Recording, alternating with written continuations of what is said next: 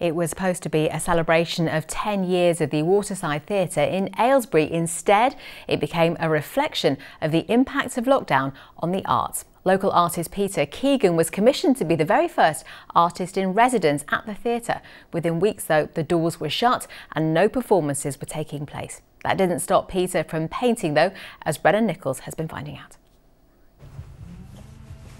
They say the show must go on, but what if there are no shows? How can an artist paint their muse if there are no sittings? These were the dilemmas Peter Keegan had to conquer. I started a series of paintings at the beginning of 2020 and then suddenly everything stopped.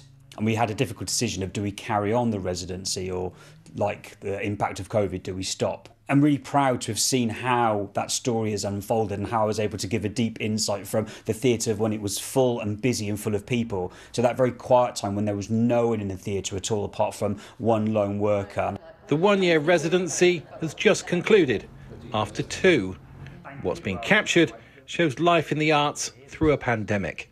Coming to a venue that is normally full of life with your friends, we you know we are a family as much as we are work colleagues, and to have to walk every level of the building to check no pipes leaked, no nothing's burst, that no one's broken in, just trying to mix up a different route every third day of a week because you hear your own footsteps, you hear your own echo, you hear every door close. And the reason that green is in is the complementary colour to the red. With the lockdown finally behind them, shows like the Panto finally returned.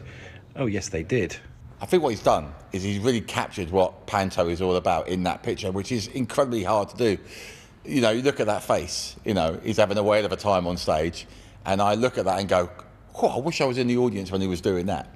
Peter's work has been hung at the theatre as a reminder of the scale of the disruption you know, I've always thought that theatre is a great uh, way for people to escape from the everyday. You come for two hours and you forget about the bad that's going on at home or the struggle you've got at school and just for that two and a half hours you're totally transformed and transfixed to another place. Doing this residency has I think made me a better painter.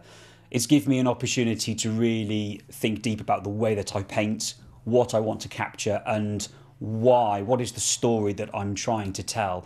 It's allowing me to work on a scale that I've never been able to work before. The largest painting in this collection is 10 feet tall, um, something I wouldn't usually be able to do.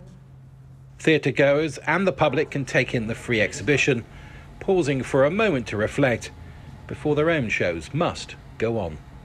Brennan Nichols, BBC South Today.